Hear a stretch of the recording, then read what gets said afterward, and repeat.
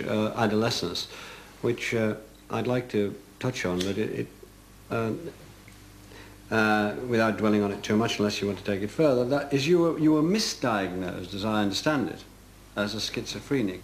What effect did it have on your life as a, as a, a boy and a young man? I mean, it, it, it's interesting because, uh, in actual fact, what it says in the doctor, the psychiatrist's notes is, if I were urged in his own handwriting to, to make a diagnosis at this stage, I might say borderline personality, brackets, schizoid. Now you see, in a sense, the fact of it returning again and again to me is more like one of my own fictional conceits. You know, I've thrown out this as a... The fact of the matter was it was written there, and when I came to uh, call up my medical notes and found that it was written there, it in a sense explained, in my mind, an external point from which to judge my own sense of conflict during that period, my own sense of quite acute dissociation. Um, it certainly did happen, yeah.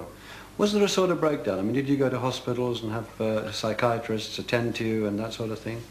Well, I did have a fairly turbulent time, yes. I ended up in casualty a couple of times in suicidal states. I ended up at one point being prescribed, you know, quite strong uh, antipsychotic and tranquilizing drugs. And, uh, you know, I ended up under psychiatric care of various sorts for a number of years, yeah.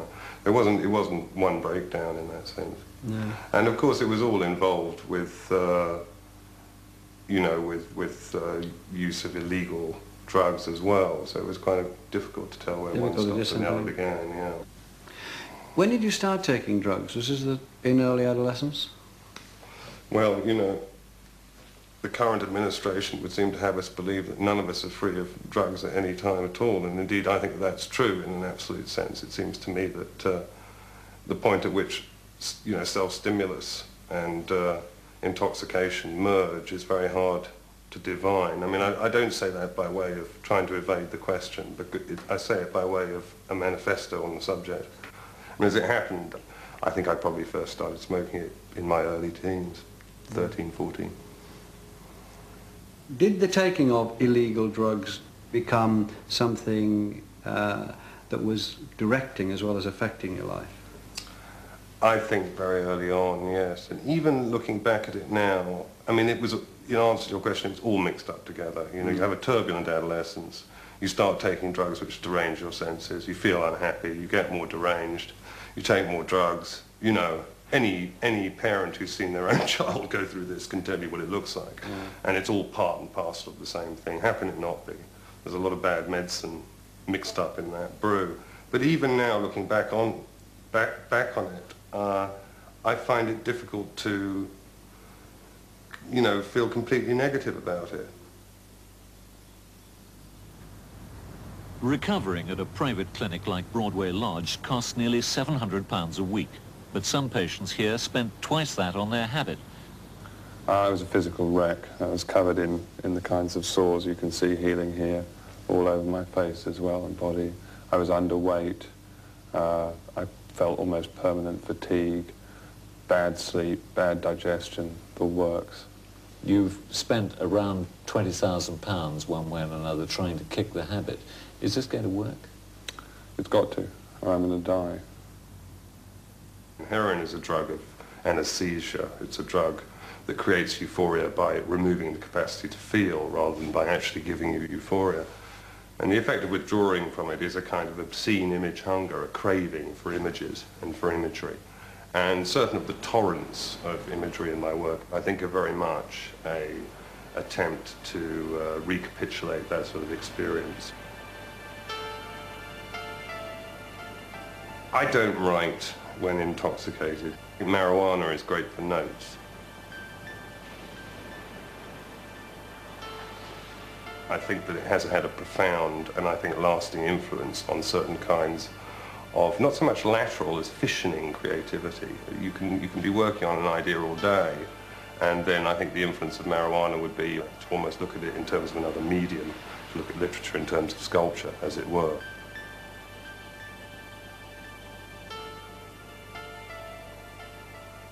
This is a very strange building put up to house the uh, burial chamber inside, built about four and a half, perhaps even 5,000 years ago.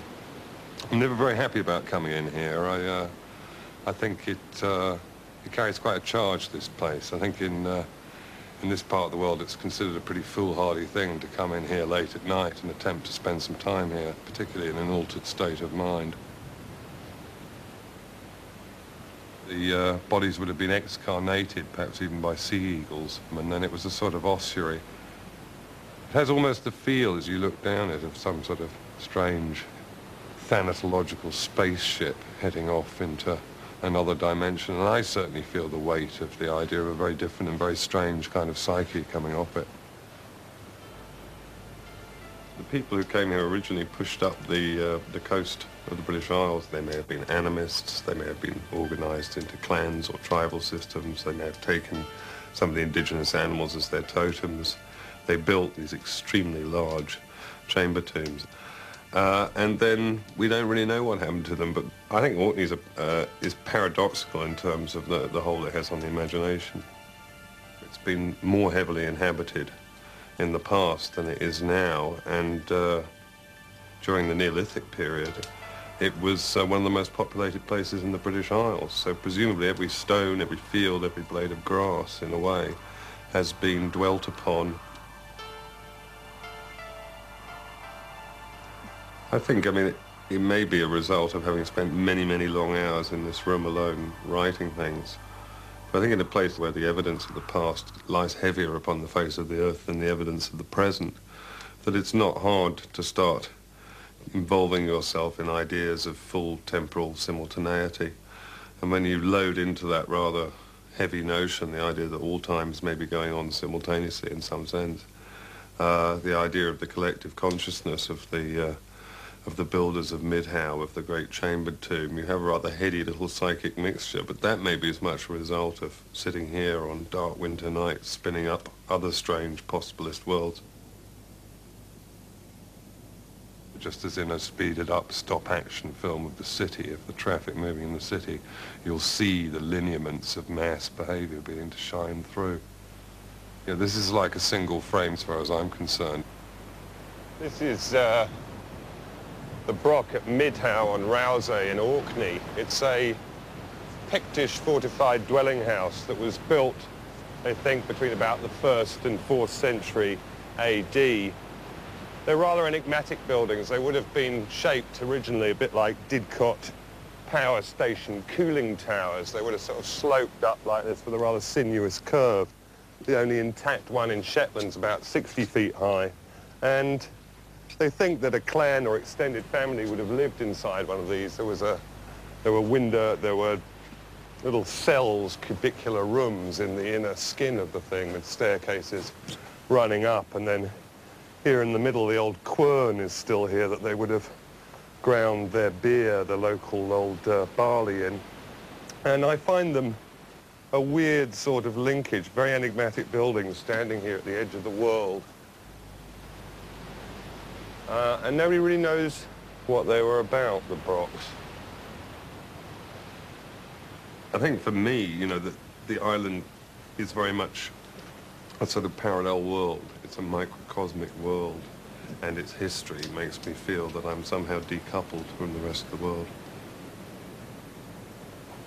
And uh, I suppose in a weird way, this mini Broch here in uh, London inner city garden resembles in a way the, the relationship of, the, of my fiction to reality. You know, it's, it's uh, my stories uh, bear this rather tangential relationship to naturalism and to the world as we see it around us. You said once or twice that your writing comes out of a sort of boredom. Is that something you'd hold to? Well, I, th I think the boredom, I'm, if I were to be honest with myself, that I'm really talking about is not so much at boredom as an exasperation at my inability to write. Paradoxically, what drove me to write was my fear that I couldn't. You know, it became so extreme that I had to kind of lance it and reinterest myself in myself and in the idea of working by doing it and, and keeping doing it.